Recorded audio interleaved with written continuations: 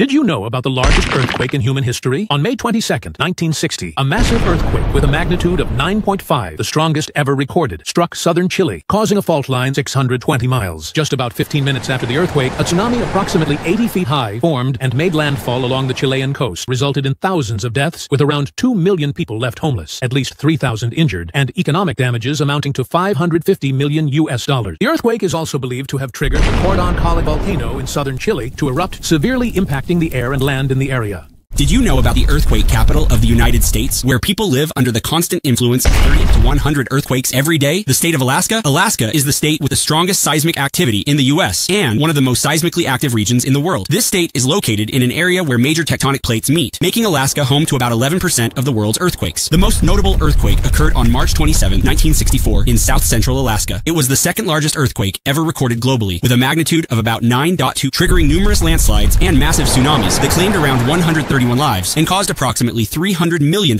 in property damage at that time. Did you know about the most devastating tsunami disaster in human history, the 2004 Indian Ocean tsunami? It occurred on December 26, 2004. This was the third largest earthquake ever recorded, releasing energy equivalent to 23,000 Hiroshima-type atomic bombs. The tsunami that followed, reaching heights of up over 100 feet and traveling at speeds of about 500 miles per hour, similar to the speed of a commercial jet, spreading throughout the Indian Ocean and even affecting East African countries. The tsunami claimed the lives of around 230,000 people in multiple countries, left millions of people homeless and caused shortages of food, water, and medical services in the aftermath. Did you know about the Tohoku earthquake, the most powerful earthquake ever to devastate Japan? On March 11, 2011, the Tohoku earthquake occurred with its epicenter off the northeastern coast of Japan with a magnitude of 9.1 on the Richter scale. It is the fourth largest earthquake ever recorded in the world. A massive tsunami triggered by the earthquake with waves reaching nearly 130 feet struck about 1,242 miles of Japan's coastline within 30 minutes. The tsunami breached the seawalls and caused caused severe damage, resulting in nearly 20,000 deaths and leaving around 2,500 people missing. Japan's total economic losses were estimated at 235 billion US dollars. The tsunami caused the meltdown of three nuclear reactors at the Fukushima Daiichi nuclear power plant, releasing harmful radioactive materials into the environment. Did you know about the largest earthquake in Russian history, the Kamchatka earthquake of 1952? Occurring on November 4th, 1952, this earthquake shook the offshore area of the Kamchatka Peninsula in the former Soviet Union, now Russia, with a magnitude of about 9.0 on the Richter scale, making it the fifth strongest earthquake ever recorded globally. The earthquake triggered a massive tsunami with waves reaching up to 50 feet, devastating many Pacific coastal areas. Among the worst hit locations was the town of Severo-Kurilsk. Upon detecting signs of the earthquake, most Severo-Kurilsk residents managed to evacuate to higher ground, avoiding the first tsunami wave. However, two subsequent waves, even more destructive, nearly leveled the town and swept away many people who had returned to collect belongings. At least one third of the town's 6,000 residents perished in this disaster.